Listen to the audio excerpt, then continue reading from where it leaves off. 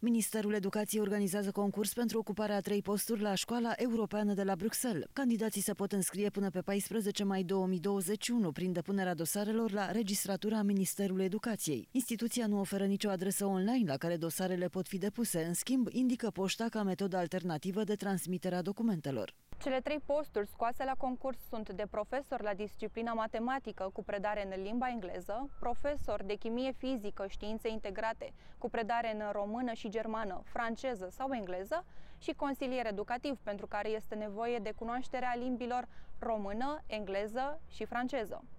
Salariile sunt cuprinse între 4.000 și 6.000 de euro, iar la concurs pot participa profesori care au certificate internaționale de limbă, eliberate doar de câteva centre specifice. Pe 18 mai 2021, candidații vor susține o probă interviu. În aceeași zi sunt planificate afișarea rezultatelor obținute la interviu și afișarea planificării probei scrise. Proba scrisă și transmiterea rezultatelor vor avea loc în zilele de 19 și 20 mai 2021. Contestațiile se depun pe 21 mai 2021 la registratura Ministerului în termen de 24 de ore de la afișarea rezultatelor. Școlile europene au fost înființate cu scopul de a asigura educația în limba maternă a copiilor personalului angajat în instituții instituțiile comunitare. În școlile europene, potrivit reglementărilor specifice, pot fi înscriși numai copiii funcționarilor europeni și ai angajaților în instituțiile partenere ale Comisiei Europene sau semnatare ale unor convenții cu instituțiile europene.